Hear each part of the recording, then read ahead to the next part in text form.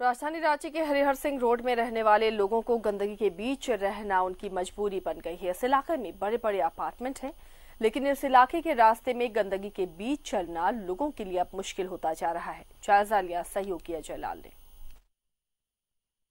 एक तरफ़ राजधानी रांची सहित पूरे झारखंड में कोरोना वायरस को लेकर लगातार जागरूकता अभियान चलाया जा रहा है। कहा जा रहा है कि किसी से आप हाथ ना मिलाएँ, लगातार हाथ को धोते रहें। लेकिन कुछ ऐसी चीज़ें हैं जिस पर रांची नगर निगम को ध्यान देना चाहिए।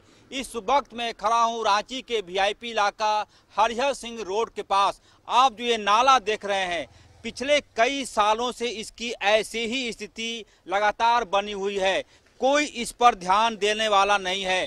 कोरोना से आप बच भी जाएँ तो मलेरिया हैजा आपको परेशान कर सकता है। ये देखेंगे राजधानी रांची का हरिहर सिंह रोड का इलाका। ये गंदगी को लेकर क्या कहेंगे? गंदगी को हटाना चाहते हैं। गंदगी को हटाना चाहते हैं। परेशान है गंदगी से? गंदगी से ज़्यादा परेशान है इसलिए गंदगी हट जाएगी तो सारा बीमारी दूर हो जाएगी। पूरा इलाका देखेंगे पानी निकासी का कोई माध्यम ही नहीं है।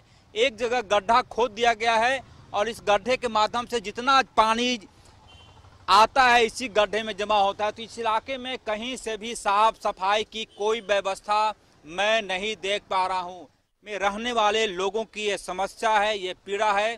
देखना होगा कि रांची नगर निगम ऐसी समस्याओं पर कब तक ध्यान दे पाता है। किरण सनोवल के साथ अजय लाल, न्यूज़ 11 रांची।